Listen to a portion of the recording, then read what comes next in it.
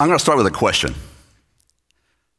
How many of you, when you were younger, or even to this day, looked to the moon and wondered about those footprints that are up there? Many of you. And then asked yourself, how can I do that? How can I explore space? Well, I'm going to talk about commercial space exploration. And maybe we can talk about a lunar base as a part of that scenario to answer some of those questions.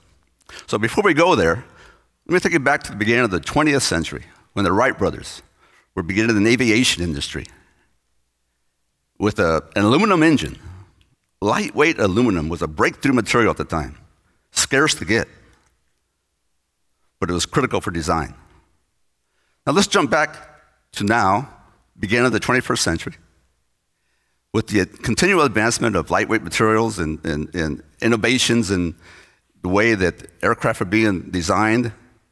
And what happens is that we see now, today, we're on the, the dawn, like the Wright brothers were 100 years ago, of a revolution in aerospace transportation. There are companies that are building spacecraft to take passengers to the edge of space for a short duration experience of microgravity as tourists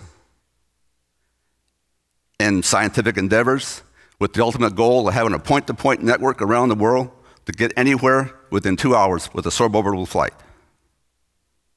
There are companies building space capsules, space capsules to ferry our astronauts to the International Space Station and for resupply missions.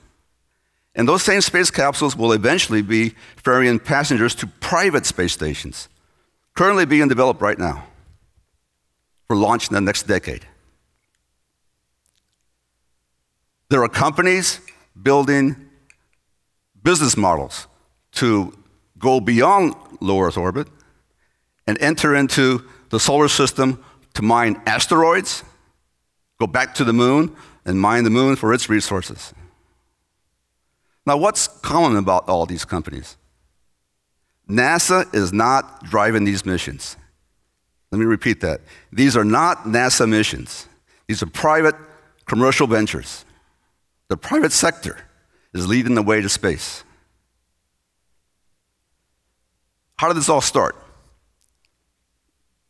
Billionaires that made their fortunes in other industries decided to turn their attention to the resources to space exploration and the applications that it could have. For, former NASA administrators and astronauts who have left the agency to begin their own space companies. And now there's a third wave of organizations getting involved communities. Houston. The city of Houston has a space program. And I don't mean a space program because they're close to NASA Johnson Space Center. They have their own space program. The Houston airport system is building a spaceport to service this commercial spaceflight industry. Brownsville, down at the tip of Texas, is trying to lure a company called SpaceX to locate a spaceport there to launch from Brownsville rocket ships to go to Mars. And those rocket ships to shoot the capsules to, the, to low Earth orbit. Now, how about San Antonio? Can San Antonio have a space program? If you look at the map on the bottom of that screen there, you see between Houston and, and Brownsville San Antonio in the middle. The Texas Gulf Coast is poised to be a mecca of human space exploration in the coming decade and years beyond. And that's why I want to talk to you about a lunar base as a natural progression of this commercial market and the position of Ark City to be ready to take advantage of these examples. Here's a site we found on the moon about three years ago. It's uh, discovered by a Japanese satellite called the Kaguya satellite. It found this hole in the ground, an opening in the lunar surface. Essentially, it's a pit, big, deep pit, 60 meters in diameter, about 150 feet deep. It's thought to be a skylight. Now, a skylight is an opening to caves in the lunar surface. Caves! A cave on a planetary, distant planet. Can you imagine that? Now, I'm an architect, and that's really excites me architecturally for its potential, but also because as far back as I was, it was when I was seven years old, living in, in Germany at the height of the Cold War, a friend and myself found this cave, and we crawled in our belly to the end of it in the darkness. And at the end of that cave, we found a chest of gold coins. Well, they weren't gold, they were German coins. So that sense of adventure and discovery into the darkness of that cave has never left me. Can you imagine the first missions of humans to this cave? 250,000 miles from Earth, descended into the depths of the, of the planet, of, of moon, the moon. That's got to excite the imagination. Going down there to learn about scientific discoveries and the engineering possibilities for making this possibly a site for human settlement. To me, it's like a metaphor of a Jules Verne novel, Journey to the Center of the Earth metaphor.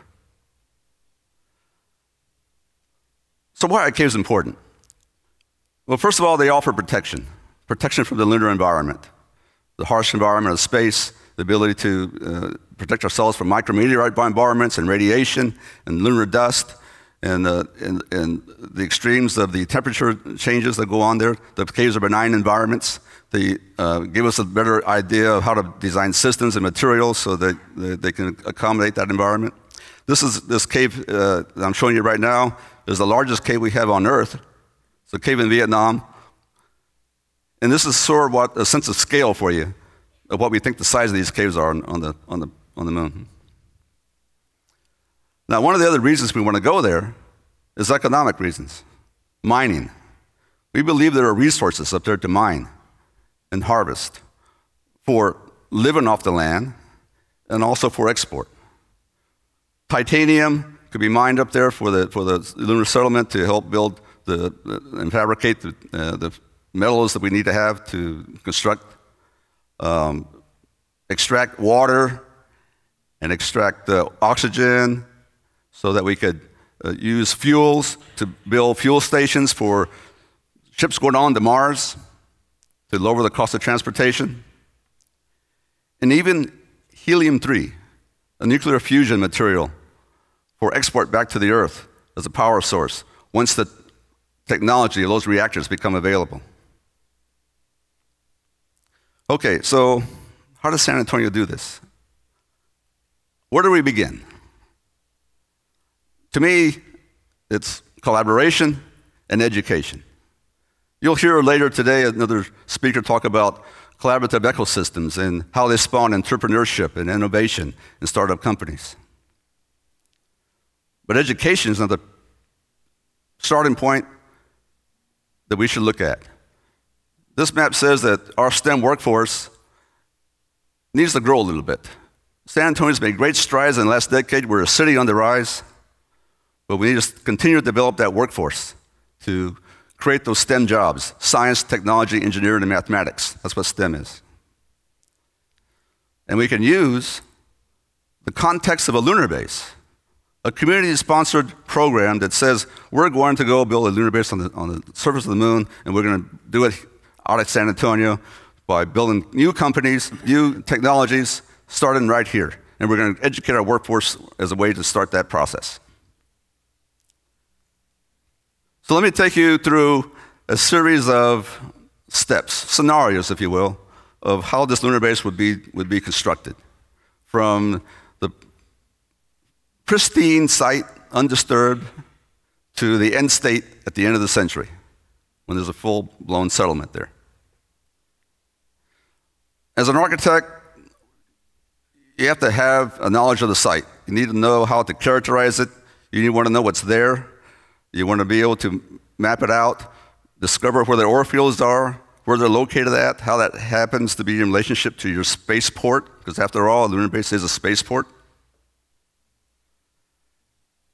You need to know approaches to the hole, we want to measure every nook and cranny, every rock that's out there. And we can do that right now We can do that right now by remote sensing techniques with data sets we have from currently orbiting lunar satellites to help us do that.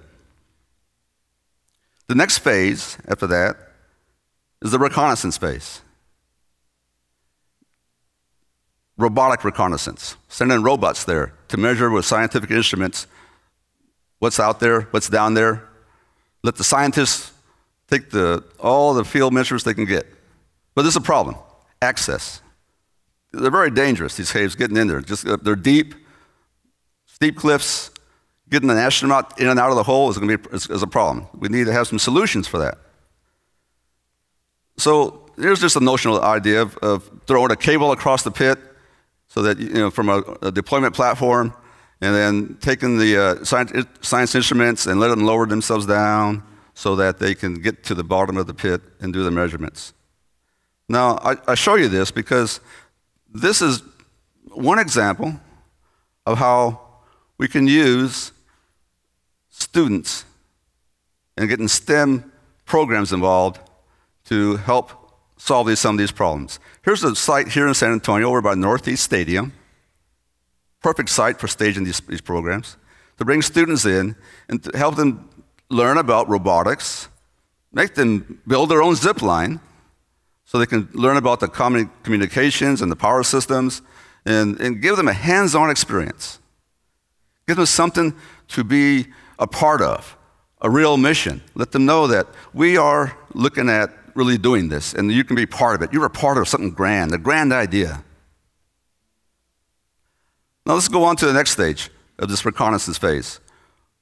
Human, the humans start coming here. This is the first time we actually stay in the cave we uh, bring the humans in there to ground truth the measurements we had because of you know the humans can only do that in such a way that robots can't do and we want to really uh, look at the ability to whether or not this cave is actually viable uh, these will be short duration missions two to three days at a time temporary and they can also be learning about inflatables human uh, habitation these, these student programs as well let's go to the next phase uh, this is probably the end of the uh, next decade to the middle of the century when we start putting in modules and we learn learning how to actually live there for a little bit longer periods of time, uh, weeks to months at a time.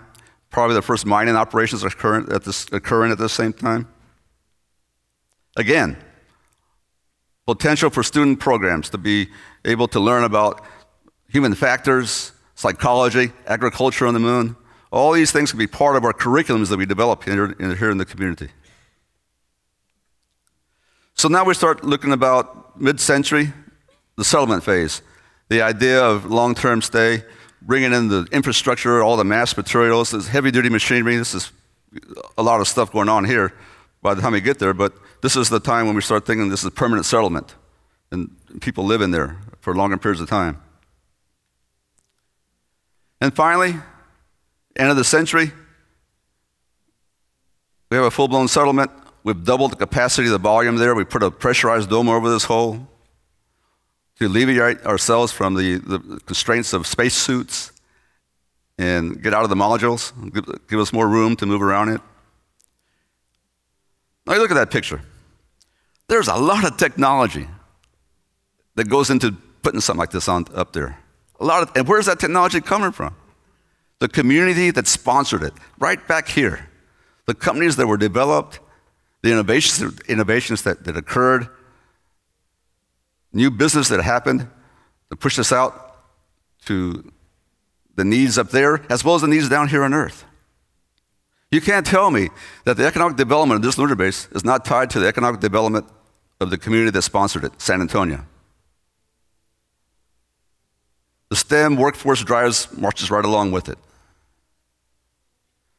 So my message is if we really want to step into the 21st century, why don't we use the inspiration of commercial space exploration and literally shoot for the moon? Thank you very much.